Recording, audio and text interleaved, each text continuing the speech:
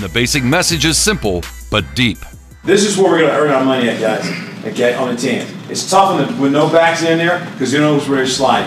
But when we hit it, we got to make sure you got to stay and hold on to the center. So give James a chance to come. Then you'll come clean. Just don't panic. Just don't panic.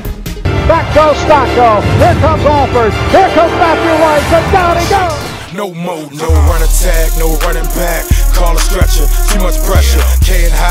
come fetch you. Best believe I'm gon' get you. Defense like precincts, everybody locked up. That quarterback gon' need a bell. Four for three, he gonna fail. Better throw that Hail Mary, maybe coming a steroid. Touchdown chance, real thin. Get up off that field then. Just know I go hard, guarantee we will win. Just know I go hard, guarantee we will win.